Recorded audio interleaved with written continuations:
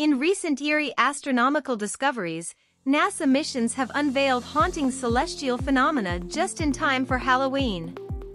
One of these eerie findings comes from the Juno mission orbiting Jupiter.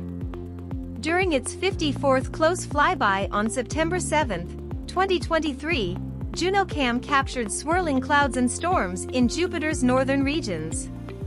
Interestingly, pareidolia, a psychological phenomenon where recognizable shapes are seen in random patterns, revealed what appeared to be a Picasso-like face emerging from the turbulent atmosphere.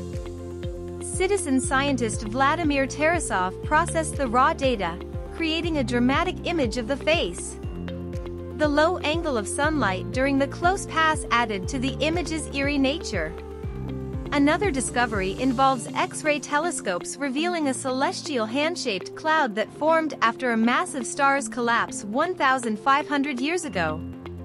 This nebula, known as MSH 15-52, is located 16,000 light-years from Earth.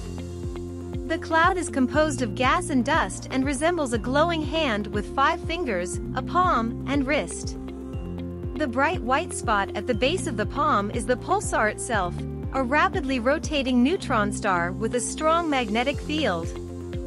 Pulsars emit jets of energized material and have powerful winds, shaping the nebula.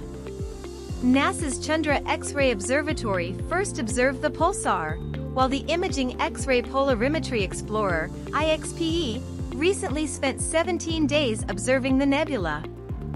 The IXPE data allowed scientists to map the magnetic field within the hand-shaped nebula, revealing how charged particles producing X-rays follow the magnetic field structure, similar to how bones determine a hand's shape in a human body.